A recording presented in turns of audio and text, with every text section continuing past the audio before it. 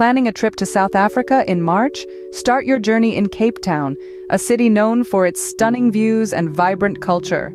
As the mother city basks in beautiful weather, you'll find yourself entranced by the breathtaking views from atop Table Mountain.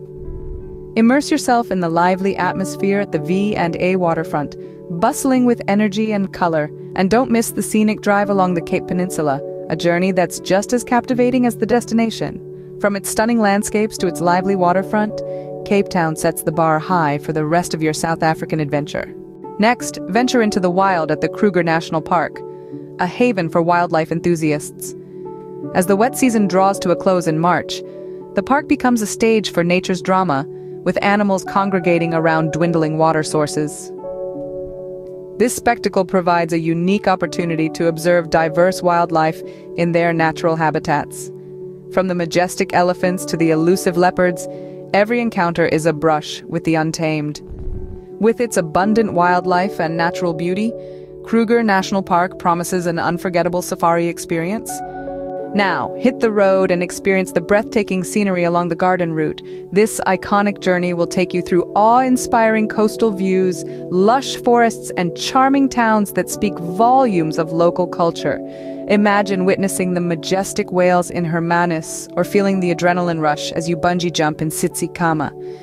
The combination of diverse landscapes and thrilling activities is truly captivating. The garden route, with its diverse landscapes and thrilling activities, offers something for every traveler. Head to Stellenbosch next, a picturesque wine region that's a treat for the senses. Imagine yourself savoring exquisite wines, each sip a testament to the region's centuries-old winemaking tradition. Couple that with gourmet dining, where every dish is a celebration of local flavors. Here, every meal becomes a memorable experience. March paints the vineyards in lush shades of green, a sight to behold after the summer rains. Stellenbosch, with its world-class wines and gourmet cuisine, is a must-visit for food and wine lovers. Let me us know in the comments section if you agree with us. Finally, explore the dramatic landscapes of the Drakensberg Mountains, a UNESCO World Heritage Site. This natural masterpiece boasts breathtaking vistas, cascading waterfalls, and trails that beckon the adventurous.